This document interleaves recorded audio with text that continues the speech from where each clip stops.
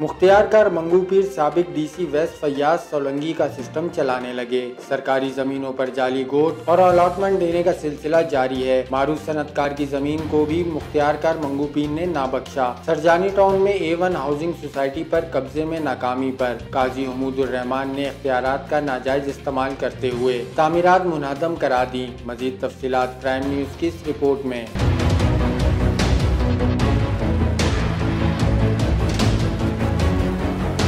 मंगूपीर और सरजानी के अतराफ जमीनों के कब्जे का धंधा ना रुक सका।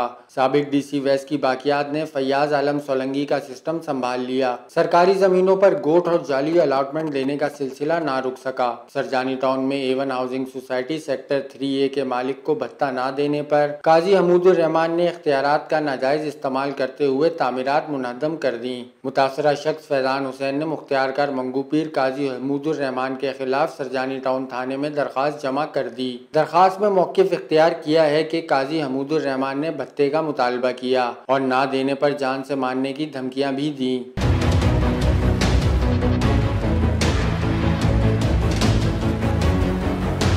और 15 अगस्त को बगैर किसी नोटिस हमारे प्रोजेक्ट पर ऑपरेशन करते हुए एलोटीज के प्लॉट और स्कूल की चार दीवार मिसमार कर दी। मुतासरा शख्स ने वज़ीर अला सिंध वज़ीर बल्दियात और आई जी सिंध ऐसी मुख्तियार कर मंगू पीर के खिलाफ सख्त कार्रवाई का मुतालबा किया है।